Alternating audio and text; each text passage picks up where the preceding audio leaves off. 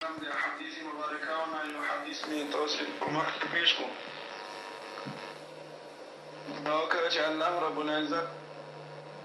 ما ته په حق طریقې سره په حق نیت سره د حق خبرې کولې توفیق راکړي بیا الله تعالی دې موږ ته په هغې باندې د عمل کولو توفیق راکړي په دنیا کې هر يو عقل والا انسان هغه دا خبره خوشوي چې موږ ته آرام او سکون ملو شي نو موږ تاسو ګورو چې څوک په دې دنیا کې مال دولت پسې منډې وایي څوک په دې دنيو کې د کور جوړونې په فکر کې لګېدلي دي، څوک په دې دنيو کې د لويو لويو عهدو او د وزارتونو طلبګار دي، نو دا ټول خلک په حقيقت کې خوشي اوسکون غواړي چې په څه طریقه باندې موږ ته خوشي اوسکون میلاو شي اوس دا بیله خبره ده یو کاس دا خوشحي چې موته خوشي په بچایه کې میلاو شي په وزارت کې میلاو شي بل کس دا غواړي چې ماته د سکون عدالت په ډیګ باندې میلاو شي، بل دا غواړي چې ماته د زړه اطمینان او سکون د کور او په ماشومانو ورڅ میلاو شي. نو دا ټول اګر چی طریقی مختلفی دی خو مکسا دی ټولو یو دی چی هر یو انسان غواړی چی ماته دی سکون میلاو شی نو چی هر کله هر یو انسان سکون غواړی خو یاغی نه باوجود موږ تاسی ګورو چی زړه سکون ډیر کم خلک دی چی هغه ته میلاویږی. اوس په ظاهراً په څرګنده غوندې که يو کس يا يوه فيملي يو کور هغه موږ وګورو چې دغو ډېر خوشحال دی او ده سره ډېر ئې دنيا سامان دي، مال دولت، عهدې، وزارتونه، کورونه هر څه ئې ډېر دي، ګاډې ئې ډېرې دي، خو که موږ ئې هغې.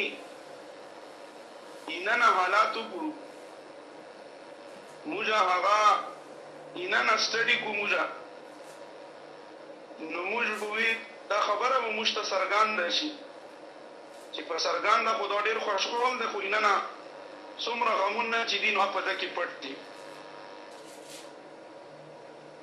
نو حقیقت کې خبره دا ده چې هر يو انسان ئې زړۀ ئې سکون حاصلونې پاره هغۀ ډېرې طريقې استعمال کړې غلط لاره ئې استعمال کړه چې زما زړۀ په دې باندې خوشحال شي خو ليکن زړۀ سکون چې دی نو هغه هېچا ته ملاوېږي نه. ځکه چې که موږ تاسې وګورو عبدالرحمن اموي چې اسپين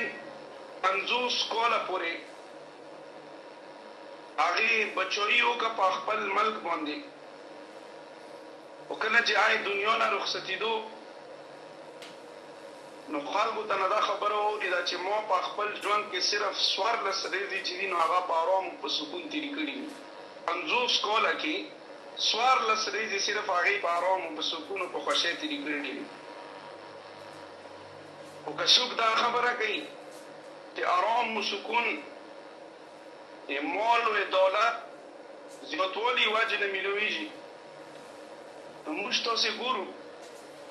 چي غټ غټ سرمايه داران چي هغه سره مال دولت ډير دی هغه خانه کې اخپت ئې بزنېز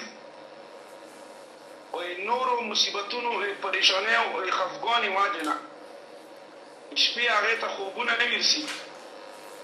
او هغه ئې خوب کولای چې تر څو ئې خوړلي نه وي هغه اوده کېدل نه شي. دغه رسې بعضې انسانانو خیال دی چې که انسان. او خپل جنسي خواهشات پوره کړي نو هغې ته به سکون ملاو شي نو ادغې جنسي خواهشاتو پوره کونې پوره په يورپ کي زنا چي ده نو هغې عام اعلان کړی دی خو د هغې نه باوجود انګريز چي دی نو هغه خوشحال نه دی د هغې زړه ته سکون او اطمينان نشته دی. او بیا یورف که موږ وګورو نو دغسې په هغې کې که مسلمانان دي که انګریزان دي هغې زړونو ته سکون نشته دی. څوک دا سوچ کوي چې منشیات، هیروین، شراب زه استعمال کړم یا هغې په ذریعې سره زما زړه ته سکون میلاو شي؟ خو څوک په دې باندې نه پوهیږي چې دې منشیاتو، دې هیروین، دې نشو څومره کورونه تباه کړي دي نو په حقیقت کې دا ټول انسانان چې لګیا دي او هغه خوښي ګوري نو کله چې هغه ته خوښي ملاو نه شي نو اوس یې الله یې طرف نه اواز راسي چې او ما بنده ته خو یې مال دولت ډیري ولګو ته په هغه باندې خوشحال نه شوې. تو وزارتونه بچوې دې حاصلې ګي تو ته سکون ميلو نه شو تو ئې رقص ئې سرود ميوزک او ئې ډانسونو مجلسونه تو اټينډ کو خو تو ته په هغې باندې سکون ميلو نه شو فحاشي اورياني ئې بدکورې انتها حد ته وکو تو ته سکون ميلو نه شو ئې جيورې اډې چې دي نو هغې ته ته لاړې سکون دې کتو هغې کي ميلو نه شو. نوی نوی فیشن تو چی دی نو هغه اختیار کو ودی که تو تاته سکون میلاو نه شو ته تر ستوری او سکوژمیو پوری یعنی ته ورسیدی خو تاته سکون میلاو نه شو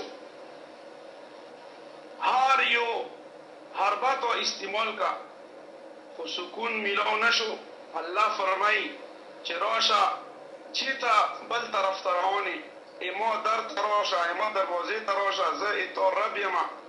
زه اتا یی ضرورتونو پوره کونی مالک یمه ما ته راشه الله فرمایی چی او جاهل انسانه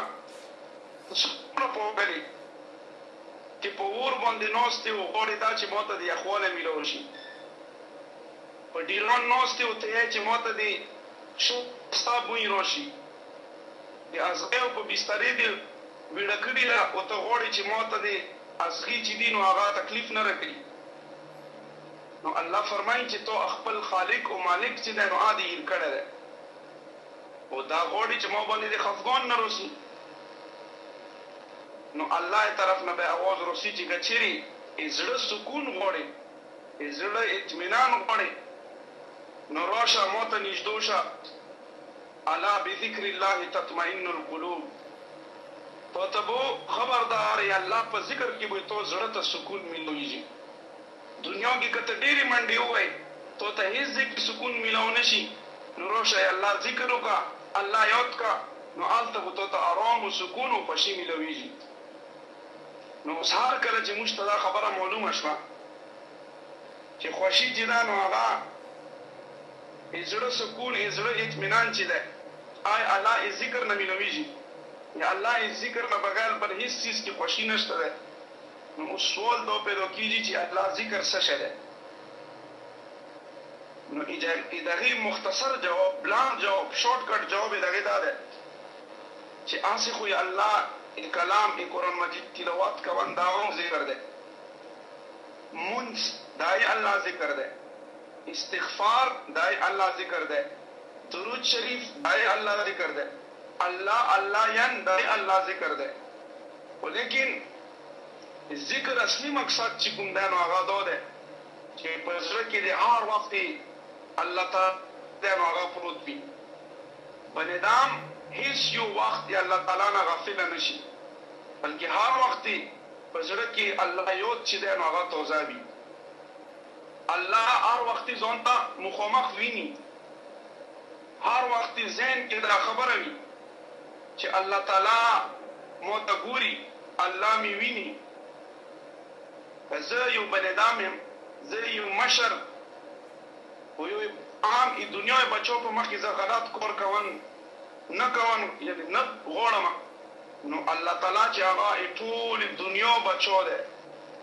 ای دی دنیا ای هغی دنیا ای ټول مخلوق بچو دی نو هغی په مخ کی زه ویلی غلات کور وکم اوس یو سوال پیدا کیږی چی کله موږ ګناه کوو نو په هغی کی خو خوند ملویږی ته خو وایی چی الله په ذکر کی خوند دی. نو که موږ تاسې وګورو چې یوه ګونې کار کوو نو په هغې کې خو موږ ته خوند میلاویږي نو دا څنګه چل شو؟ د هغې جواب دا دی چې د ګناهونو هغه لذت، هغه خوږوالی دا خو داسې دی لکه چې یو انسان باندې خورش بیماري وي هغه هغه ځای خورشتوي هغې ټیم کې ټیک ده هغه ته خو هغه بیماري چې ده نو هغه خورشت. چې هغه ځای کوم يې هغې خو رشتيژي او خو هغې ته يې نې خواند ويل کوي خو اه صرف يې بيمورې خواند دی ځکه چې کله تۀ هغې نه کلور شې هغې نه ورستو اقدام به سوۀ شروع کړي او تکليف يې څوڼ ته ويل کوي نو په اصل کې دا اموژ ګناهونه چې موژ ته په هغې کې خواند ميلويژي نو دا هغه يو ټيمپريلي يو خواند دی يې هغې نه ورستو اصلی خوند چه دی اصلی لذت که ته غوړی چه موږ ته د همیشه همیشه خوشی میلاو شی نو ای الله په عبادات کی راکړه خو چونکی تر اوسه پوری بعضی خلګو د الله عبادات او پریزګاری هغه خوند او مزه چه ده نو هغه سکلی نه ده نو دی وجی نه انسان چه دی نو الله عبادات طرف ته الله ذکر طرف ته رجوع کیږی نه د الله د هغې یاداشت دی تر رزقه انسان چې دی نو هغه سینه نو دا خو یو جواب شو چې ګناهونه ویلې یعنې خوند ویل ګئي نو د هغې جواب دا دی چې هغه ټیمپریلي خوند وي وروستو یې هغې نه وروستو یې هغې هغه تکلیف دی دویم جواب دا دی چې په اصل کې خو. د ګناهونو له وجې نه په دنیا کې هم انسان ته تکلیف ملاویږي، خو لږې موږ خپلې بیوقوفانې له وجې نه هغه تکلیف چې ده نو هغه په خوند کې بدل کړو. د هغې مثال دا دی چې اوس یو کس هغه چې تا هندوستان ته رالو نو د فګن یوه حلوایي دوکان سره هغه تیریدو نو هلته ګرمه ګرمه حلوا پرته وه، کوم چې هغې ته هغه الوه بوی وي تلو نو اوس پیسې خو ورسره وي نه اوس هغې یوه موټی دوه موټی الوه تنه راوخسته او ویې خوړه هغه الوه یې دکان والا رپوټ ولیکو هغه افسر اوس ووي چې زه به یې دې چالان کوم دا به چې ده نو تاڼې ته راغواړم دې باندې به کیس کوم دا مناسبه خبره نه ده ځکه چې خبره یې الوه ده او یو موټی دوه موټی الوه یې وي چې ته کړي خو بس هسې یعنی ده ته خبر داری نه پوره بو هو کاری وین کو اخپل پولیس ته چه دو په خره باندی سور که او شوته نه دی پسی هلکان روان که او چیغی او شپیلی پسی وایی او په دی بازار کی وګرځوی نو دغه سی چال یی هغه سره وکو نو اوس کله چه هغه اخپل ملک ته واپس رالو نو خالګو تنه پشتن وکه چه سنګه چالو هندوستان کی نو ده ورته په جواب کښې چې هندوستان خو ډېر ښايسته ملک دی، حلوا پکې مفت، په خر باندې سواري پکې مفت، په ورستو در پسې يعنې ډول او بجي چې دي هغه پکې هم مفت دي، دا خو ډېر ښايسته ملک دی. نو اوس دغه وحشي دغه سړی چې دی يا خپل بيوقوفوالي وجې نه هغه تکليف چې ده ته کوم ميلاو شو هغه ذلت سامان چې دی، رسوايۍ سامان چې دی نو هغه هغې ته عزت سامان چې دی نو هغه پر سر ګنډ رالو. نو دغسي موږ هم اخپل تکليفونو سمون چي ده نو هغه ئې لذت سمون چي ده موږ خوښ کړی ده موږ ته اصل کي تکليف ميلاويږي ګناهونو ئې وجه نه خو موږ يو چي دې کي خوند ډېر ده بهر حال اسانه طريقه ئې دې دا ده چي يو انسان هغه اخپل ځان ئې ګناهونو نه خلاصون غواړي او ئې الله ذکر طرف ته راتلن غواړي. نو خبره دا ده چې موږ خپل عادات چې دی، خپل روټین چې دی، نو هغه په داسې ماحول کې موږ تېروو چې په هغې کې موږ ته شه او بد اډو،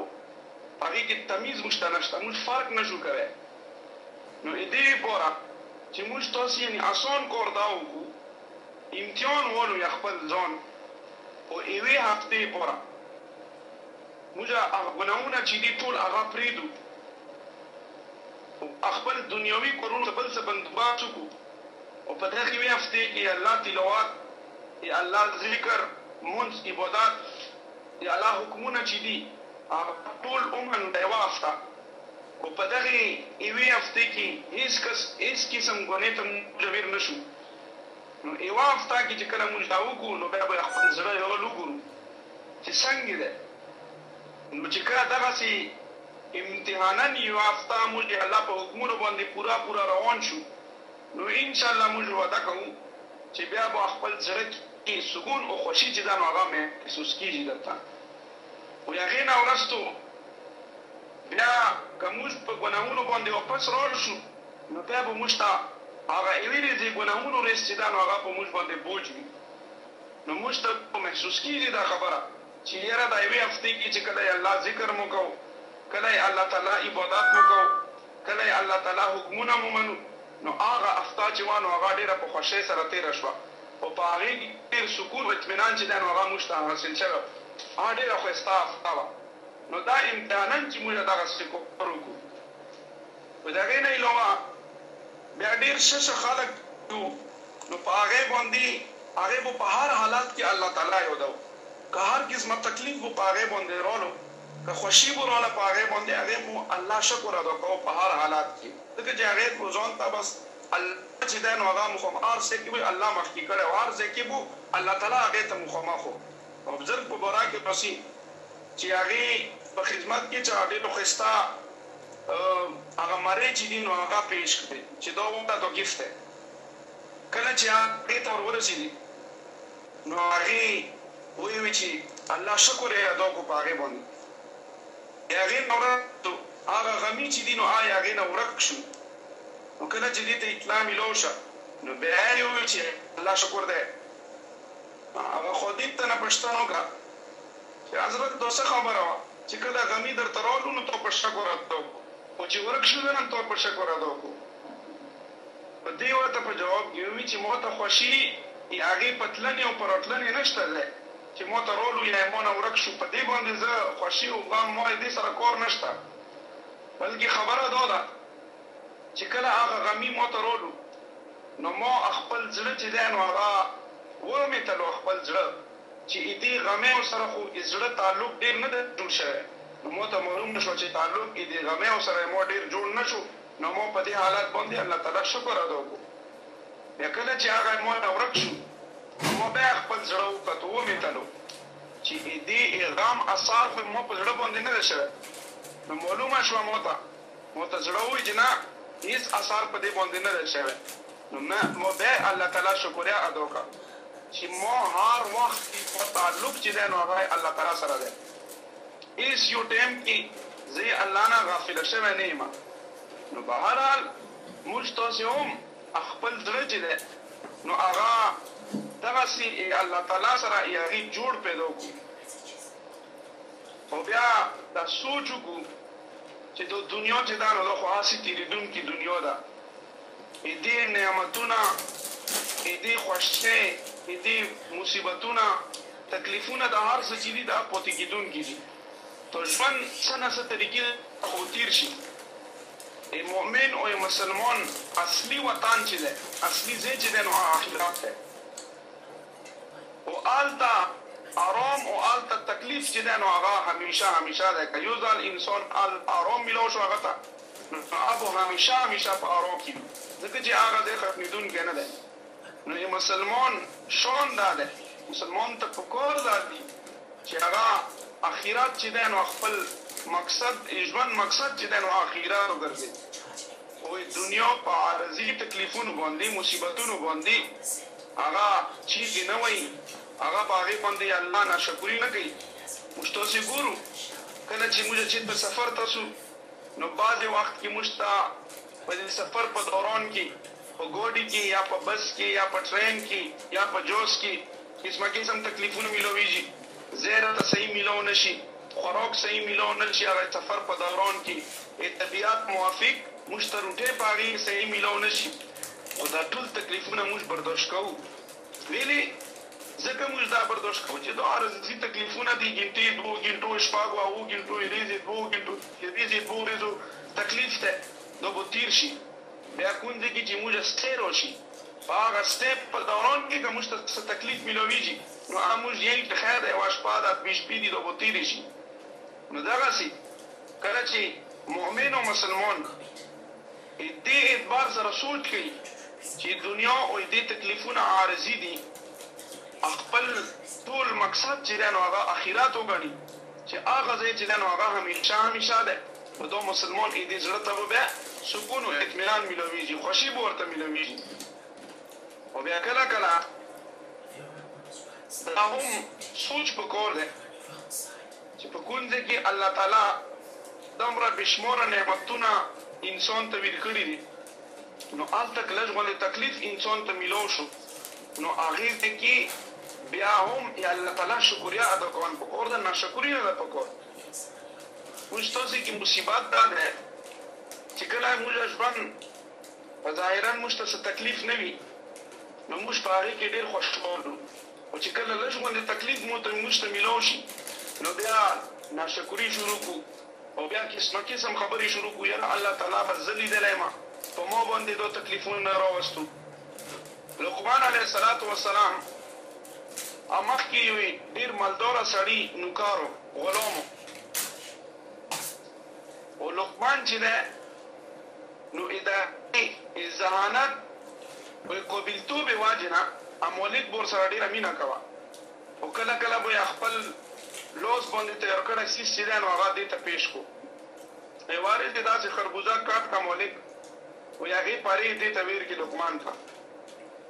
نو اوس لقمان چې دی نو هغه لګيا دی خوري يې خوري نو کله چې اخيري پره پاتې شوه يې خربوزې نو هغه مولک په خپله وخوړه نو چې کله یې وخوړه نو هغه ډېره یعنې پیکا وه خو تریخوالی و په هغې کې نو ده هغه لقمان ته یی د مولک چې دا خو عجیبه خبره ده ته خو دومره لږی په مزو سره خورې او دا خو تروا وه او دا پیکا ده دومره خو ته لګیا یې دمره په خوان خوان سره یې خورې نو ده ورته په جواب کې ووي چې که یې تویې لوسه زه هر وخت یې خوږ څیزونه خورم نو که یو ځال په کې داسې تریخ یا خروب څیز رولو نو څه وشو خو شرمنده کوه مه په ما په دې خبره باندې نو مقصد دا دی که الله یې طرف نه هر وخت یې موږ ته نعمتونه دا یې موږ جسم دا یې موږ ځان نو موږ ته الله تعالی چې دومره نعمتونه راکړي دي نو که په دې کې کله کله الله په انسان باندې تکليف راولي نو بيا هم الله تعالی هيرون نه دی پکار هر وخت يې الله يادون پکار دی حضرت عمر رضي الله تعالی عنه يو ځل روان و څه ملګري ورسره وو نو يو داسې زه داسې سړي باندې تېرېدم چې هغه ړوند و، ګوډ و،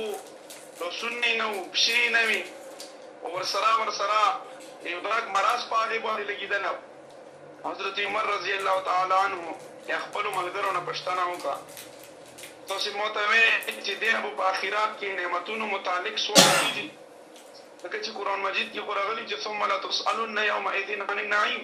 د هر يو نعمت په باره کې به پشتن کيږي چې دې شکر دې ادو کړی او که نه او ملګري ورته په جواب کې وايي چې دې غريب سره څه دي دې په باره کې به دې نه سوال وشي نه لاس نه پښې نه سترګې تر دې پورې چې چمړه يې چې ده نو هغه هم صحيح نه ده خرابه ده نو دې نه به څه سوال کيږي عمر رضي الله تعالی عنه ورته وفرمايلو چې تاسې غلطه خبره کوې. د دې نه به هم ئې نعمتونو په باره کښې الله تعالی پشتن کوي چې آيا د دې ئې خوړنې، چنې، د دې ئې متيازو ته لارې دا صحيح نه وې؟ که الله تعالی د دې ئې خوړنې، چنې يا ئې متيازو لاره بنده کړې وه نو بيا به څه وو؟ په دې خو حضرت عمر رضي الله تعالی عنه يو مثال وير کو. چه ګوره نو څه چه پکی صحیح دی نو هغی په باره کی به پشتن کیږی نو موږ تاسو ته خو الله تعالی څومره نعمتونه راکړی دی موږ تاسو نه به پشتن نه کیږی یوه یوه نعمت په باره کی او بیا کله یو صحیح او پوخ مؤمن او مسلمان دا سوچ کوي چه که زه په مصیبت کی ګیر شوی یم نو څه وشو مانه ډیر بدتر خلق خو شته دی. ځکه چې دنيا کې داسې يو مصيبه او داسې يو تکليف نشته دی چې هغه يا هغې يعنې هغې نه څوک خلاص وي، هر يو مسلمان چې دی نو هغه په تکليفونو او مصيبتونو کې مبتلا شوی دی، هر يو انسان قسمه قسم تکليفونه په هغې کې راغلي دي، دې وجې نه نبي کريم صلی الله عليه وسلم فرمايي. چې تاسې دين په اعتبار سره هغه ته وګورئ چې څوک ئې تاسې نه مخکې وي په دين کښې نو ئې تاسې په زړونو کښې به مزيد عبادت جذبه پېدا کېږي او ئې دنيا په اعتبار سره هغه ته ګورئ چې کوم ئې تاسې نه وروستو وي چې تاسې ئې الله تعالی شکر په خپل ويال باندې ادا کوئ خو ئېموږ معامله چې ده نو هغه برعکس ده الټا ده ئېموږ معامله الټا ده Opposite ده موږ خو ددين په معامله کې اخپل نه کم سړي ته ګورو چې يره مړه ده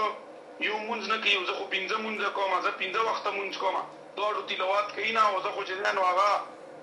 مدبسي پورې تلاوات وکړي نو زه ډير ښه يم او دنيا چې ده موږ په هغې کې ګورو ځان نه يعنې کم خلکو ته ګورو چې يره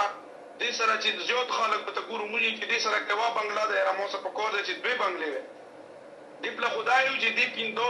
پنځه وخته مونځ چي ده نکړي زه يې کوم حالانکه ابو عبادات کوي نور عبادات به کوي خو زه په خپله يو حيول بندي غاويره يم او اپله چي دنيو خبره شي نو موږ ګورو چي ياله دي خو يو کور جوړ کړي چي زه دعا وکم دي چي سره پلونی ګوډه ده چي مو سره ده او که دغي نه غاټ ګوډه وي نو موږ الټا رويو پيغمبر عليه الصلوة والسلام ئې هغي حکم خلاف روان يو موږ. نو دې واجې نه موژ ته سکون نشته اطمینان مو نشته هر وخت دې سوچ کی چه خدایه پیسې مو مول دولات مو موژ سره یې دې نه پلونی نه سنګه زیوتیژی ای پلونی نه بو ګوډه یې مو سنګه خوستا وی پلونی نه بو ای مو سره چه دی نو هغه بنګلا بو می سنګه خوستا وی نو موژ سوچ چه دی نو هغه الټا دی بهرحال سوچ چه موژ له دی هغه پیغمبر علیه الصلوة والسلام چه کوم حکمونه کړی دی ای هغه مطابق پکور دی نبي کریم صلی الله علیه وسلم چې کومې خبرې کړي دي هغې مطابق موږ تاسو ته خپل سوچ په کور دی. عالمګیر رحمه الله هغه ځای کې یو بچه و نو یې هغې یو وړیکی غوندې زوی و نو دی سوچ وکړو چې دغه بچوی دغه غټ بچو چې دی نو هغه مړ شو نو دې دا بچوی چې ده دا به وړیکی هلک ته حواله کړو. نو کله چي دې ته بچوي پاوله کيدله نو دا يو کاس راوخستو او سمندر ته ور مخامخ کو نو سړی ورته وي چې زه تو لوندې وغورځوم اوس نو دا هلک ورته جواب کوي چې چې چا لوس اتو غوندې تکړه سړی په لوس کې وي نو هغه به څنګه په سمندر کې غورځېږي نو اوس د هغې دا خبره چې وه نو دا ډېره قابل غور وه. مطلب دا دی چې دې په دغه سړي باندې اطمینان وکړو چې ته مه نه غورځوې ځکه چې ته ډېر مضبوط سړی یې. نو موږ تاسې چې یو موږ تاسې الله په قدرت کې یو الله په الله تعالی په حفاظت کې یو موږ تاسې خو موږ تاسې الله تعالی هغه احکام چې دي نو هغه مو پرې شلي دي ای الله حکمونه هغه مو پرې شلي دي او نافرمانۍ چې دي هغه الله تعالی مو شروع کړي دي. له دې وجې نه نن په موږ تاسې باندې قسمه قسم تکلیفونه روان دي نو مطلب دا دی خلاصه دا ده اما کلام اما خبرې چې واقعي مصیبت چې کوم دی نو هغه د ګناهونو د وجې نه راسي کله چې کله مصیبت یو انسان راورسي انسان ته راورسي نو فوراً توبه کول پکار ده او بیا په هغې توبه باندې پوخ اوسیدل پکار ده دا نه چې موږ شکایتونه شروع کړو. چیرته الله تعالی مو سره دو کو مو سره دو شو نا الله ته توبه ویستن په کور ده په حدیث کی خو دا هم رسی چی که ای وخت ای برچو ای طرف نه انسان ته ای هغی ای مرضی خلاف څه تکلیف ور ورسی نو هغی بچو ته بد رد مه ای الله روزی که چی هغی بچو زړه چی ده نو هغه ای الله په لاس کی ده. نو څومره خو ستا خبره نبی کریم صلی الله علیه وسلم وشیه چی تاسی خپل اعمال چی دی نو هغه درست کړی بچو ته سمه یی دی بچو زړه خو یی الله په لاس کی دی که تاسی عملونه صحیح کو نو هغه بچو زړه چی دی نو هغه به هم الله تعالی نرم کی موږ تاسی پوره نو تکلیفونه ما اصابکم من مصیبت فبما کسبت ایدیکم ویعفو عن کثیر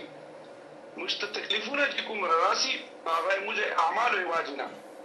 نو ئې زړه سکون او اطمینان چي ده هغه ئې الله تعالی او د نبي کریم صلی الله علیه وسلم په احکاماتو مننو کي ده. کله چي الله او رسول احکام منو زړه ته به مو سکون او اطمینان حاصلیږي او کله چي الله او رسول نافرمانۍ کوو نو که دنیا کي هر څومره منډي ترړي خوښۍ په راووایو نو اخکه موږ دماغ چي ده نو هغه په ټینشن کي وي اخکه موږ باندي به پریشانۍ وي اخکه تکلیفونه به وي الله والا خلک چې کوم وي که په هغه تکلیف روم شي نو هغه په هغه باندې صبر کوي هغه په هغه باندې هم خوشي محسوس کوي چې دا يې الله طرف نه رالو خو کوم خلک چې الله او رسول نافرماني کوي که په هغه باندې تکلیف راشي نو هغه هغه تکلیف چې دی نو هغه برداشت کوي نه او هغه باندې هر وخت الله طرف نه بيا تکلیفونه راسي ځکه چې الله او رسول نافرماني مو چې کړي وي. چې الله یا رسول نافرماني مو کړي وي نو اموږ ژوند کي اموږ په زړه کي اموږ په ذهن کي اموږ په کورونو کي سکون او ارام بو نه وي هر وخت بو جګاړي وي هر وخت بو خفګانونه وي هر وخت بو دماغ چي ده نو هغه باندي ټینشنونه وي نو ادغي غټه وجه ادغي علاج موږ علماء چی دی موږ محدثین ادا کړئ چی یوه هفته تاسو ټریننګ وکړئ ټوله هفته چی ځان د الله او رسول په احکاماتو باندی تیره کړئ کومو څیزونو چی الله حکم میر کړی په هغی عمل وکړئ کومو څیزونو نه چی الله منع کړی دی هغی نه ځان وساتئ کومو څیزونو کی چی شیطان په کومو څیزونو خوشحالیږی هغه پریږدئ په کومو چی الله خوشحالیږی هغه راونیسئ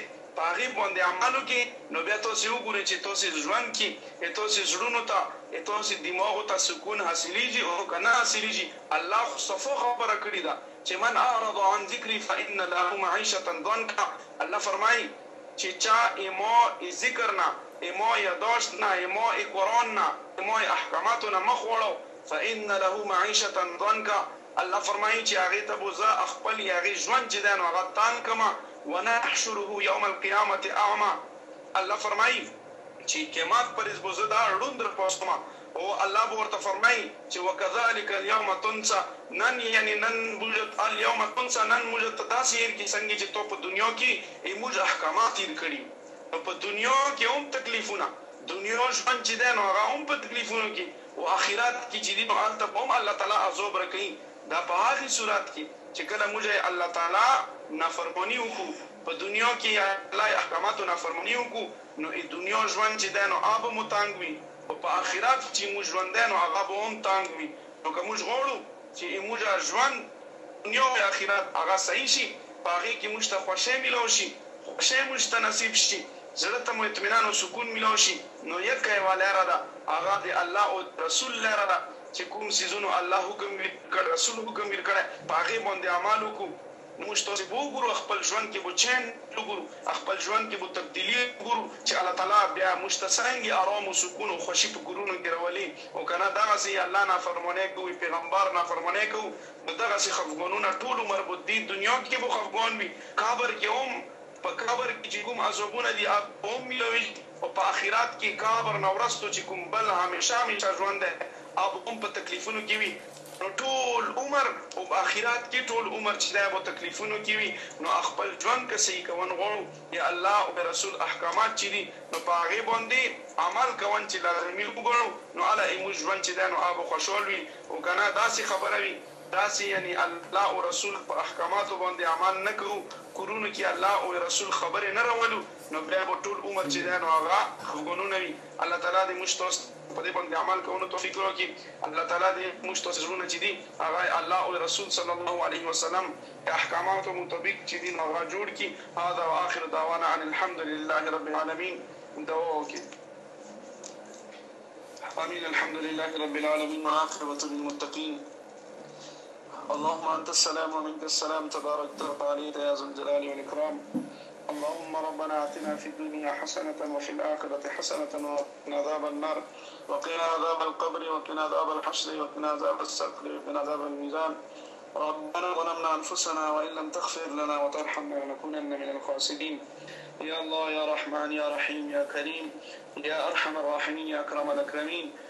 يا رب السماوات والارض يا رب المشارق والمغارب يا الله يا الله موږ يول باندې رحم وکړي يا الله يې دنيا يې اخرت مشکلات مو اسان کړي يا الله موږ ټولو ته هدايت نصيب کړي يا الله موږ ټول دوزخ دې اور نه محفوظ وساتي الله موږ باندې خپل فضل او کرم وکړي الله موږ سره عفو درګذر معامله وکړي يا الله سهولت او عافيت والا معامله راسره وکړي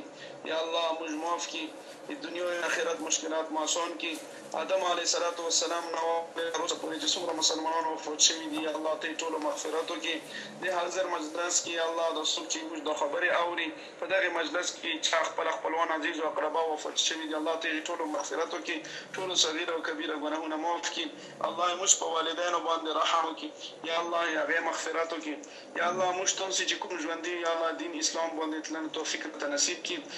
هر قسم آفتونو نه مو حفاظات وکړي هر قسم مصیبتونو نه مو حفاظات وکړي یا الله ټول امت مسلمه ته اتفاق او اتحاد نصیب کړي یا الله موږ ټول خپل فرمان بردار بندمان جوړ کړي یا الله موږ ټول خپل اطاعت ګذار بندمان جوړ کړي یا الله موږ ټول حرامو نه وساتي رزق حلال راته نصیب کړي. الله موږ ته د نیک عمل کولو توفیق نصیب کړي الله موږ ټول د غلطو کارونو نه محفوظ وساتي الله قبر عذاب نه محفوظ وساتي الله ټول مسلمانان قبر سختیو نه وساتي الله بیمارانو ته صحت ورکړي یا الله بیماران چیته چې بیماران دي کورونو کې دي هسپتالونو کې دي په دې هزار مجلس کې څوک دا یا الله دا بیان اوري دې کې څوک بیماران دي یا الله ته ټولو ته شفای کامل عاجله مستعمله ورکړي یا الله قیامت ذلتونو نه محفوظ وساتي قیامت رسوایانه مو محفوظ وساتی کوم خلک چی بی روزګاره دی عزت ولا روزګار لری چا چی روزګار دی الله ته ورته پکی برکتونه واچی یاالله کومو خلکو چی اولاد نشته نیک او صالح اولاد ورته ورکی یاالله چا چی اولاد دی الله ته یی په نیکه لار راوړی یاالله چا چی اولاد دی الله پنځه وخته مانځه باندی راوړی یاالله چا چی اولاد دی الله غلطو صحبتونو نه غلطو ماحولونو نه غلطو ناستو پاستو نه وساتی الله چا چی اولاد دی الله او دی رسول په لاره باندی راوړی.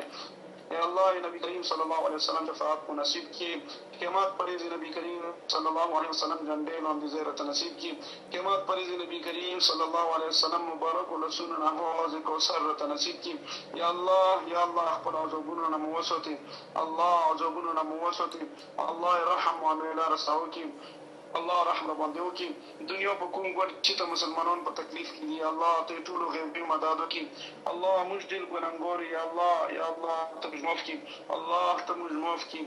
ياالله يې توبې توفيق راته نصيب کړي ياالله تا طرف ته رجوع کوو ياالله ته راته يې توبې توفيق نصيب کړي ياالله يې تانه چي نبي کريم صلی الله عليه وسلم کومي دعاګانې يا ماتې خير تر پوره وشتي دي الله په هغه کي موږ حصه او ګرځي اي کومو شرورو نه چي نبي کريم صلی الله عليه وسلم پناه غوشتي ده يا الله ته موږ اي هغه نه وساتي يا الله کوم خلک چي ته چي دين کار کړي يا الله ته هغه حفاظت وکړي يا الله ته هغه مدد وکړي يا الله ته هغه مدد وکړي يا الله کوم خلک چي دي بيان ته ناست دي راغلي دي يا الله يې دي قدمونه په نيکيو باندي بدل کړي په دي حاضر مجلس کي يا الله کوم خلک چي ناست دي چا په زړونو کي څه نيک خواهشات وي څه نيک حاجت